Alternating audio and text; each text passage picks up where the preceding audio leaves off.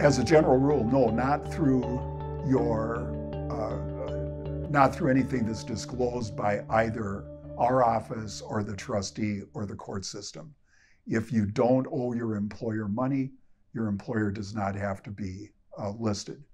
Uh, can employers find out? I suppose they can.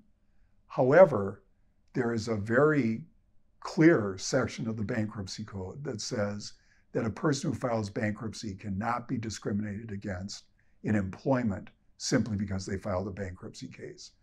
Uh, it's embarrassing for people to go through this, and we understand that.